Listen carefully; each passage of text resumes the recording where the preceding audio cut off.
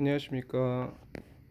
혹시 구독자분들 중에서 어, 가스 벽난로를 갖고 계신데 어떻게 정전이 됐을 때 사용하는지 모른다. 그런 분들 위해서 좀 설명을 음, 아까 생각을 해보니까 모르시는 분들이 좀 있으실 것 같아서 어, 영상을 지금 불이 들어온 상태이기 때문에 찍어서 보여드릴까 합니다. 일단은 저 커버를 여셔야 되고요.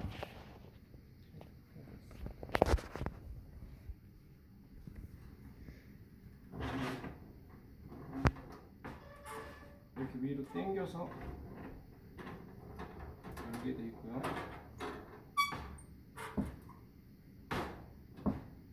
You're supposed to lift straight up. No, it was moving Ow.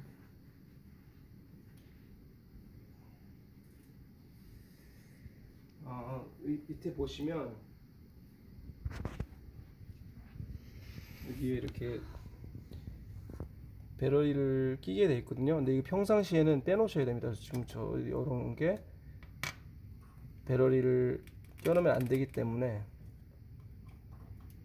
꼭 이거는 정전 시에만 사용을 하셔야 되거든요. 아마 모르시는 분들 있으시면 엄청 지금 겨울 같은 경우 뭐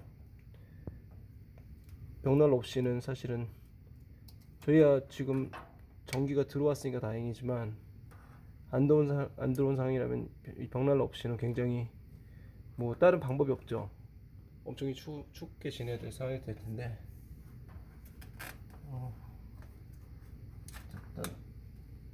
일단 이렇게 보시면 이런 식으로 보통 때는 배럴이가 안 들어가 있는 상태로 되어 있습니다. 그래서 꼭 확인을 하시고 어 저거를 꼭 배럴을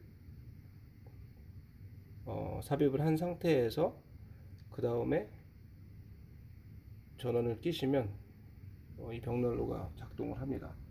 그리고 혹시라도 가스스토브로 밥을 어, 뭐 음식을 하시는 거를 가스가 가스는 어쨌든 뭐 전기 스토브면 안 되겠지만 가스 스토브라고 그러면 그 불만 붙여주면 되거든요. 가스는 들어가 있는 상태이기 때문에 그래서 음식도 하실 수가 있기 때문에 어, 그런 부분에 대해서 염두를 해주시면 좋을 것 같습니다.